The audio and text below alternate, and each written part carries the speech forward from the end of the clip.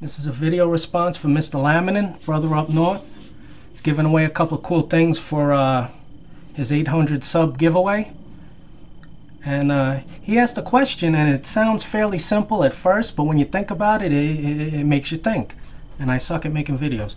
But anyway, he asked, you know, what your favorite gun is, and explain why it's your favorite gun, or tell a story about it, or something like that.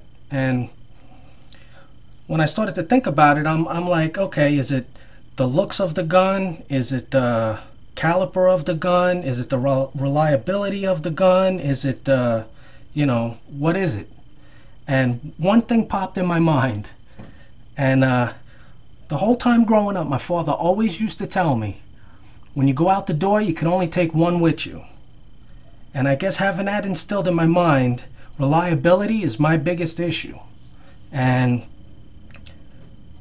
there's no questioning the reliability of a good quality AK. Okay? Now, through the years of having different AKs, I realized I was an AK guy. So, I've had some nice ones and I've had some parts kit piece of crap ones that were just total shit.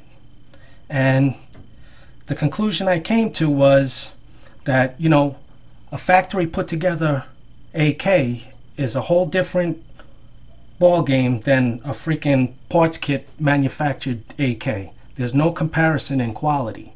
So I knew if I was going the AK route, it would be a factory built gun. It wouldn't be a parts kit gun.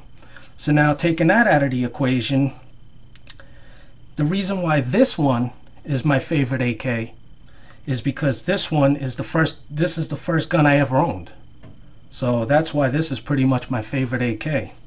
And uh, yeah, that's about it, man.